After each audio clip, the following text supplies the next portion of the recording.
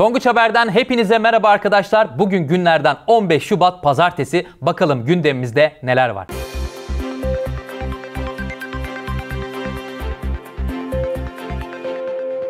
Gözümüz aydın güzel bir yarı yıl tatili ardından ikinci dönem başladı. Köy okullarında yüz yüze eğitim, şehirlerde ise uzaktan eğitim start aldı.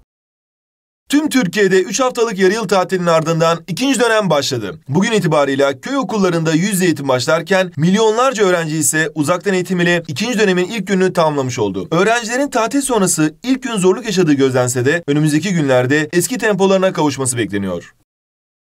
EBA TV'de geçtiğimiz 10 ay içerisinde tam 10 bin ders videosu yayınlandı arkadaşlar. Milli Eğitim Bakanı Ziya Selçuk da uzaktan eğitimde emek veren öğretmenleri kutlayarak onlara moral verdi.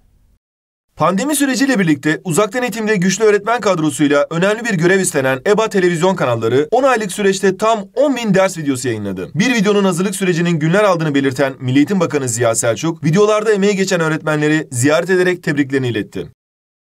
Tonguç Haber Bülteni'nin bu bölümdeki konuğu rehberlik hocamız Osman Hoca. Hocam hoş geldiniz. Hoş bulduk. Teşekkür ederim beni ağırladığınız için. Estağfurullah ne demek. Hocam güzel bir tatil geçirdik. Şimdi ikinci dönem başlıyor. Ne bekliyor hocam bizleri ikinci dönemde? Valla özellikle ben ikinci dönem için çok sabırsızlanıyorum. Çünkü okulların da biliyorsunuz açılma ihtimali var. Ama ona rağmen ne olacak bir belirsizlik var. Bu yüzden ben öğrencilere ikinci dönemle alakalı tavsiye edeceğim bazı şeyler tabii ki var. Bunlardan ilki özellikle 8. sınıf öğrencilerine kendilerini ikinci döneme önce zihnen hazırlamaları.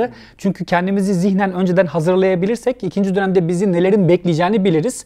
Çünkü bu tempo özellikle diğer sınıflara göre biraz daha yoğun, biraz daha karmaşık görünebilir. Bu yüzden ben 8. sınıftaki arkadaşlara özellikle ikinci dönem planlamalarını şimdiden yapmalarını ve onların biraz daha yoğun geçecek olan bu tempoya şimdiden kendilerini motive etmelerini istiyorum. Diğer sınıflardaki arkadaşlarımıza da tabii ki belli başlı tavsiyelerimiz olacak. Ee, biliyorsunuz online mi olacak, yüz yüze mi olacak şu an için belli değil. Özellikle bu durum bize bir tecrübe kattı. Bu yüzden diğer kademedeki arkadaşlara da özellikle online eğitimi içerisinde bulunduğumuz zaman diliminde çok iyi bir şekilde sürdürmemiz gerekiyor. İleriye gitmeye gerek yok. Geriden tekrarlarımızı çok yoğun bir şekilde yapmaya gerek yok. Sadece bulunduğumuz ana iyi odaklanırsak bence diğer sınıftaki arkadaşlarımız da başarılı olacaktır. Şimdi hocam ben 8. sınıflardan bahsetmişken arkadaşlarımız için kritik bir sene olduğu için yine bir iki şey sormak istiyorum açıkçası. Genellikle önceki senelerde sınava giren arkadaşlarımızda hep şu oluyor. İlk dönem çok çalıştım ama ikinci dönem bir bıkkınlık geldi. Artık pes ettim ve ne olacaksa olsun şu sınava gireyim dedim gibi cümleler duyuyoruz.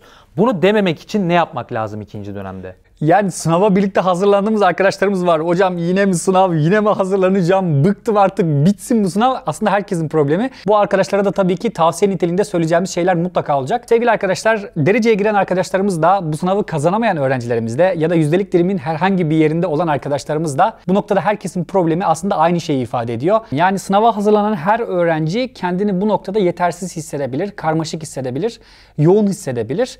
Bu yüzden yaşayacağımız şeyin ne olduğunu önceden bilirsek aslında o dönemleri yaşadığımız zaman evet bak ben bunu yaşayacaktım. Şu anda tam olarak öğretmenlerimin söylediği bu dönemi yaşıyorum.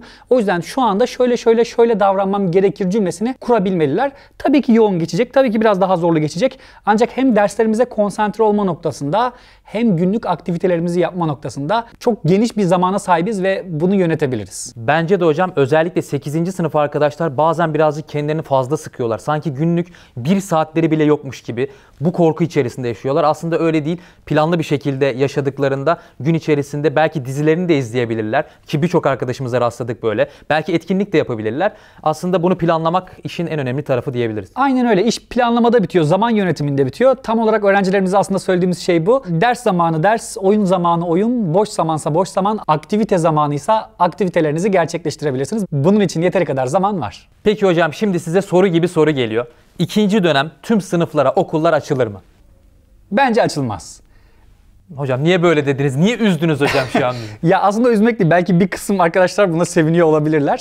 Tabii ki bizim arzu ettiğimiz bir şey. Okullar ikinci dönem açılmalı ve herkes yüzde eğitimi çok özledi. Ancak vaka sayılarında dalgalanmalar hala devam ediyor. Evet. İstediğimiz düzeyde değil. E, tüm kademeler belki aynı anda okula gidemez ama muhtemelen ikinci dönem okullara bir geçiş olacak ama bunun ne kadar olacağını bize süreç gösterecek. Özellikle Milli Eğitim Bakanımızın yaptığı açıklamalar da bu yöndeydi. 8 ve 12. sınıflar başlayacak. Geçen yıl yani geçtiğimiz dönemde okula hiç gidemeyen 7. ve 10. sınıflara da öncelik tanınması gündemdeydi. Son olarak hocam bir de size şunu sormak istiyorum. E, ikinci dönem için plan yapmak çok önemli. Fakat şu an herhangi bir öğrenci arkadaşımıza sorsanız en büyük problemi bir plan yapmak, ikincisi de o planı uygulamak. Siz bu aşamada ne dersiniz? Şimdi çok teşekkür ediyoruz. Bununla ilgili olarak öncelikle benim arkadaşlarımıza bir tavsiyem var. Evet sevgili arkadaşlar biliyorsunuz Tonguç sınıf kanallarında bizler rehber öğretmenleri olarak sizlere farklı içerikleri bu noktada sunuyoruz. Ve aynı şekilde sunmaya da devam edeceğiz. Tabii en çok söylediğimiz, üzerine ısrarla bastığımız planlı ve programlı yaşamanız. Özellikle hem LGS'de hem de dünyada çok başarılı olmuş kişiler var. Ben özellikle sınav yolculuğunda olan arkadaşların bu kişilerin hayatlarında da şöyle bir göz atmalarını istiyorum. Kendilerinin en büyük özelliği planlı ve programlı yaşamaları. Bu yüzden arkadaşlarımıza tavsiyem şöyle oturacağız. Güzel bir şekilde kalemimizi, defterimizi önümüze alacağız ve programımızı, planımızı yapmaya başlayacağız. Bununla ilgili olarak çok klasik programların artık dışına çıkmamız lazım. Yani öğrenciler özellikle bizden hocam benim için bir program lazım, bana nasıl bir program yazarsınız gibi çok talepte bulunuyorlar. Herkese verilecek bir program burada doğru değil. Yapmamız gereken şey oturacağız, ihtiyacımızı belirleyeceğiz. Bazı arkadaşlarımız matematikte çok iyi olabilir. Bazı arkadaşlarımız da fende çok kötü olabilir. Bu yüzden herkesin hangi derse ne kadar çalışacağını da aynı zamanda kendisi belirlemesi gerekiyor. Muhtemelen plan ve program anlamında da avantajlar elde ederseniz benim sizlere bu noktada ricam özellikle bugüne kadar program program yapamayan arkadaşlar varsa ilk yapacağınız programları çok kısa bir şekilde tutun. Sonra yavaş yavaş arttırırsınız. Bu da planlı olmakta. Özellikle istikrarlı olmada bizim için çok büyük bir avantaj. Hocam çok teşekkür ediyorum. Ben teşekkür ederim. Katıldığınız için gerçekten hocamızın verdiği bilgilerle inşallah ikinci dönemimiz çok daha iyi geçecek. O zaman Tonguç Haber'e kaldığımız yerden devam edelim. Yaklaşık 3-4 gün öncesine kadar Türkiye'de bir bahar havası yaşanıyordu ve hepimiz bu çok normal değil diye düşünüyorduk ki kış kendini yeniden hatırlattı ve Türkiye'nin özellikle Marmara bölgesinde kar yağışları başladı.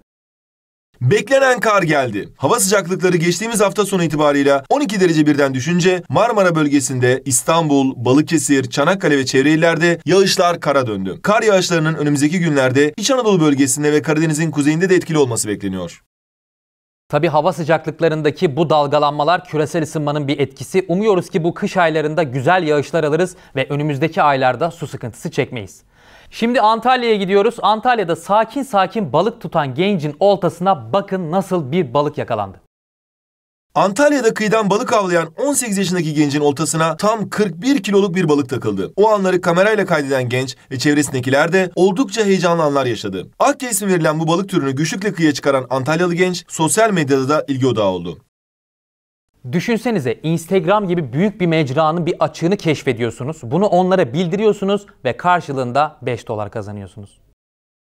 İki genç dünya çapında yaklaşık 1 milyar kullanıcıya sahip Instagram'ın reklam açığını buldu. Yaptıkları araştırmada herhangi bir kart bilgisi veya onay vermeden istedikleri miktarda reklam uygulanabildiğini fark eden gençler bu açığı Instagram'a bildirdiklerinde ise aldıkları geri dönüş onları şaşırttı. Arkadaşımla Instagram üzerinde bulmuş olduğumuz açık ile Instagram'lara verilen sponsor reklamları herhangi bir kart bilgisi girmeden ve sözleşmeye onay vermeden e, ucu açık bir şekilde, sınırsız bir şekilde reklam verebilme açığını bulduk. Bu e, işi ne kadar para için yapmasak da Instagram gibi bir platformun bize bu tarz tekliflerde bulunması hani bizi gerçekten güldürüyor. Bu girişimleri için Instagram tarafından sadece 5 dolarla ödüllendirildiler. Denizli'de şehre çok uzak bir mesafede hatta kırsalda diyebileceğimiz bir okulda şimdiye kadar belki de adını dahi duymadığınız sporların eğitimi veriliyor. Köylerdeki vaka sayılarının düşük olması öğrencilerin dışarıda daha rahat zaman geçirebilmesini sağlıyor. Bunun güzel örneklerinden biri de Denizli'de Mustafa Kaçmaz Ortaokulu'nda yapılan spor etkinlikleri. Bu okulda öğrenciler öğretmenleri Suat Arı'nın da desteğiyle voleybol, tenis gibi sporların yanı sıra curling, rugby, hokey, kriket gibi ülkemizde az bilinen sporlarda da eğitim alıyor. Tonguç Haber Bülteni'nde bu bölümün sonuna geldik arkadaşlar. Sizlere çok güzel, başarı dolu bir ikinci dönem diliyorum. Kendinize çok iyi bakın. Hoşçakalın.